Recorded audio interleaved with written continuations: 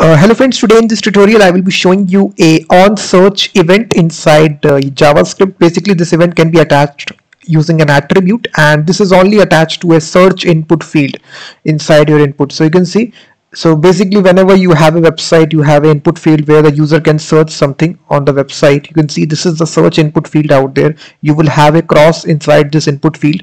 So whenever you write something inside this input field for searching something on the website and then you press the enter key on your keyboard. As as soon as you press the enter key this event will fire automatically and it will say hello world something that you can configure here inside this function.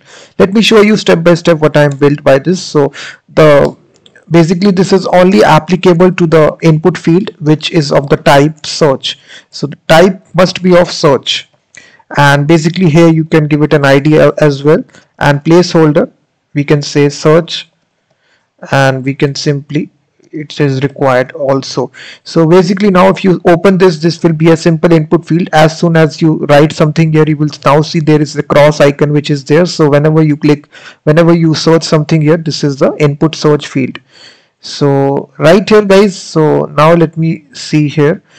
Uh, now to attaching this event it's very simple. We put a script tag here and this is the attribute that we need to attach for this search event which is on search. This is the event guys. And basically at the time of recording this video this event is not supported on internet explorer firefox or opera it's very new event. It's only supported i think in chrome browser. So you should definitely check out. And here we can simply execute a function which is search and now we can make this function guys which is called as search. And here we can simply write the alert statement. You have searched something like this.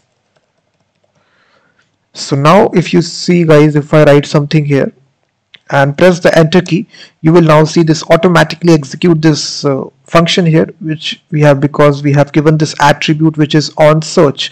So this is very much useful in those applications guys whenever you want to integrate a search input field inside your website. So whenever the user is searching something on the page here you can even just display something. Let's suppose uh, whatever they type inside the search field we can simply say document dot get element by id we have given the id which is search and we can manipulate the we can get the value which they entered.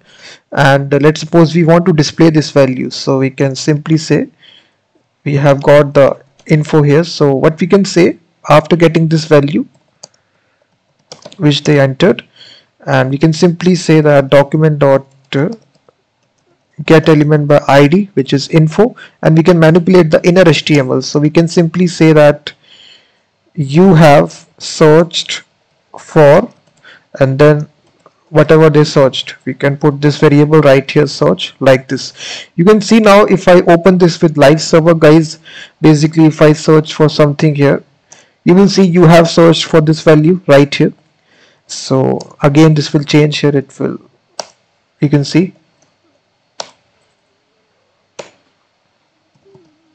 you can see that. So it's very useful guys. Basically if you want to integrate a search input field inside your uh, application this event is very much useful. Because if you just type a simple input field of type text this is not applicable. So if you now now write it this will this event will not work. This will only work for the input field which is of the type search. So whenever there is a search input field inside your website. Let's suppose you want to integrate a search input field where you will allow the user to search something on your website. Then only this event will work. And it's a very new event. It's only applicable in the chrome browser. It's not working on the firefox opera browser. So definitely it's a new event. Definitely try it. It's very important. And let's suppose you don't we need to attach it like this by the attribute way. You can even attach using the uh, basically JavaScript way as well. So basically we can use uh, add event listener as well. Add event listener and we can attach this event which is uh, I think it it is called as on search and we can execute this function search like this. We have defined this function here. So you can also attach like this. Let me just open this and let me see if it is working or not. I think the event will be search let me change it. So now you can see that. It is perfectly working right here. You can see that.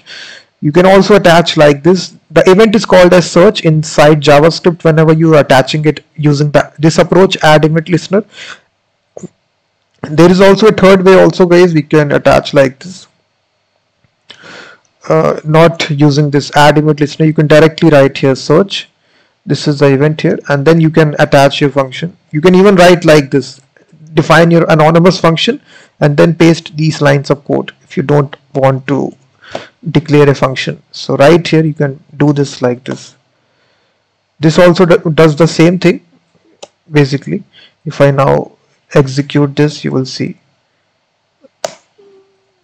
Uh, I think it is this needs to be on search. Sorry on search. If you are attaching it directly this needs to be on search.